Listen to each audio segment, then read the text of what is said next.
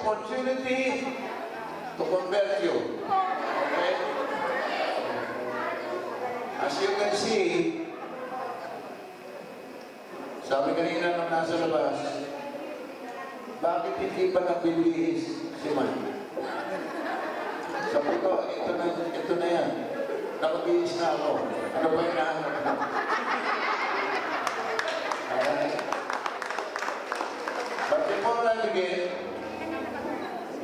like to uh, surprise you with what you do not know about me. This is me now. Shema Israel, Adonai Eloheinu, Adonai Echad, Baruch Shem Kavod, Malchuto, Leolam Bae. ואהבת את השם אלוקיך בכל נפשך ובכל נפשך ובכל אהלך בחיוב האלוהים האלה אשר נתתי בצדקה האם נלמדת בשנתך בדבר שהיית ולתת ואהבת לרעך שמו כמוך That's me. Now, do not expect me to be telling jokes like the celebrities that come here maybe and tell jokes and make you laugh. I don't make people laugh.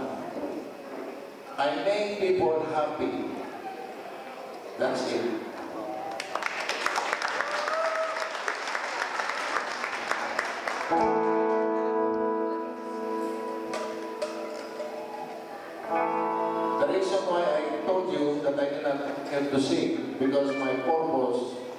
Is to share with you my life.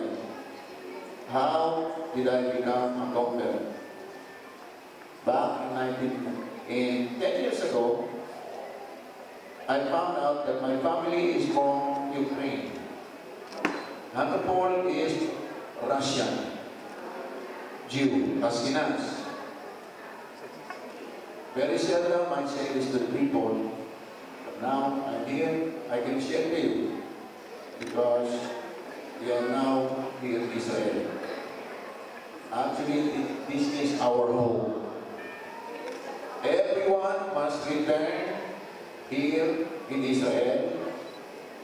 If not, their body, at least their bones, must be buried here in Israel.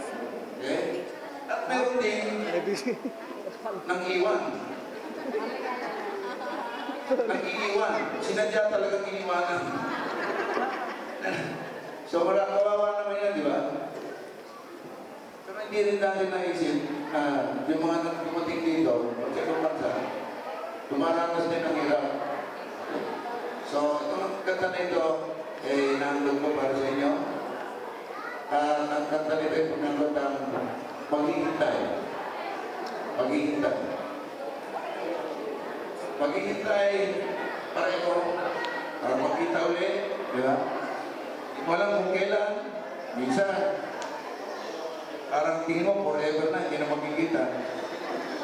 Bale. Dahil paano, makikita pa rin. So, maghihintay.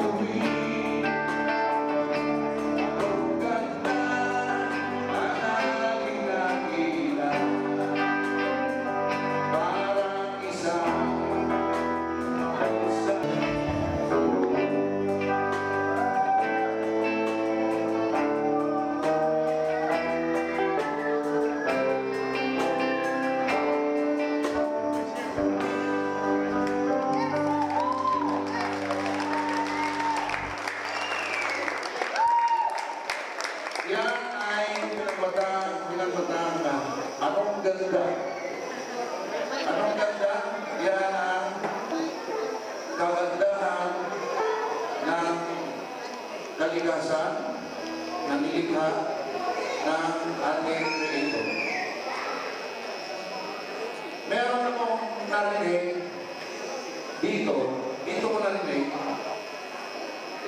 na sabi niya, wala raw Diyos. Okay. Okay, that's your choice. Okay, wala Diyos. Pero, ang tanong, Okay, una, tama, tama siya, walang Diyos. Walang God. Tama siya. Pero, bakit walang Diyos? Kasi He is nothingness. He is nothingness. Okay? Kaya, Diyos, God, pangalan niya yun. Pangalan. Okay? But the Creator is nothingness. You cannot see, you cannot touch, you cannot hear. So, yan ang explanation kung bakit walang Diyos. Diyos, pangalan lang yan. Wala siyang pangalan. He is not a matter. He is not physical. He is beyond physical. Sabi ko, paano nangyari? Paano ma-explain ang orange galing sa puno, galing sa tree? Orange galing sa tree. Ang tree naging orange. Paano ma-explain yun? Walang explanation, kundi metaphysical. Ang tawag yan, metaphysical. Beyond physical. Yan ang creator. Beyond physical. We cannot discern, we cannot comprehend, we cannot think, we cannot grasp. That is the creator. So how can you explain also na ang dalag, dalag, isda, nabubuhay sa panahon ng summertime. Tagtuyok, nasaan sila? Nasaan ang mga dalag? Pag tagtuyok, patay sila? Patay? Hindi ka explain. Nandun sa ilalim. Paano sila namubuhay sa ilalim? I've explained. That's metaphysics. Paano nabubuhay ang uwak na kulay itim na ang pinanganak siya, puti. Ang uwak, puti. So iniwanan nanay kasi hindi niya anak, hindi niya anak. Sabi niya, hindi ko anak to. Kulay puti. Kung itim ako, puti ito. Iniwanan. Paano nabubuhay? Pa- Paano nabubuhay ang buboy na ibon na walang nanay? See? Metaphysics. Yung kanilang tweet-tweet-tweet, maririnig sa baba ng uod at ang uod aakyat sa puno at sila yung magpapakain doon. Ganon sila nabubuhay. Galaw, ang creator yan. Metaphysics. As the deer pants, sa, sa, sabi sa Psalms, I long for your water. Ano ibig sabihin nun? Pag hindi mo alam sa Hebrew, wala kang alam doon. As the deer pants, I long for your water, that means to say, ang, ang usa, ang pinakamahirap na sa lahat ng ilikha ng Panginoon, ito ang pinakamahirap sa lahat ng buntis. Wala Ang usa. Paano na ako survive sa kanyang pagigingay, paghihingi ng tulong sa Panginoon at mayroong lalapit, may mayroong lalapit na scorpion at saka ahas. Itong scorpion ito at saka ahas, kakagating siya, yung dalawang yon, pag nagsama yung binom nun, magiging antibiotic. Mawawala ang pain at sakit ng beer na ito. At masaya siya pa na. Metaphysic. So walang Diyos. Kung walang Diyos, paano naka, nakapipit ang mga planeta? Paano ka nakakahinga? Saan galing? Ruwak. Hindi mo, ruwak. Spirit. Yan ang pinuga sa atin. Kaya tayo nabubuhay. It in his nostrils.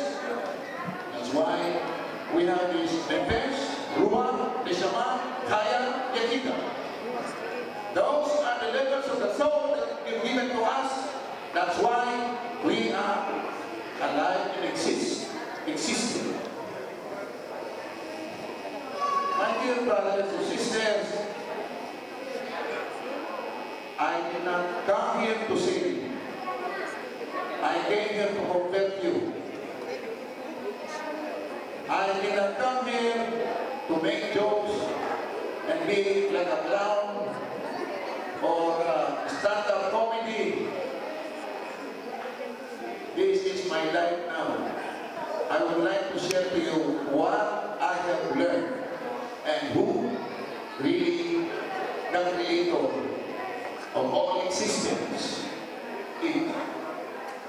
You have the best opportunity to understand the works of Hashem, the Creator. You are here in Israel. This is the center of the universe. The universe as a whole is one.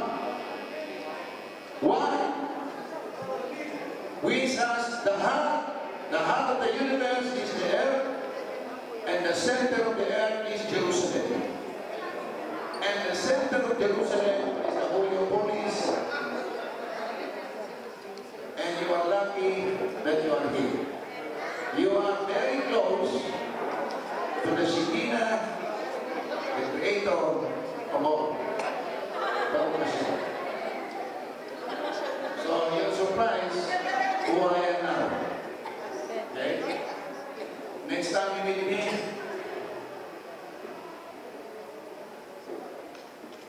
I don't know if, we meet again. Because you don't know when we're gonna. The time is ticking. The time is ticking. I just had my birthday the other day. I said I don't celebrate my birthday because in our teaching, in the Spinas, birthday is subtraction, not addition.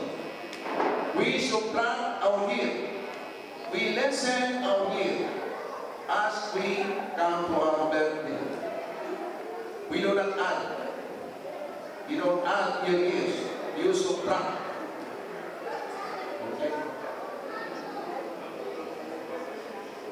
Here's another song that will give you an idea.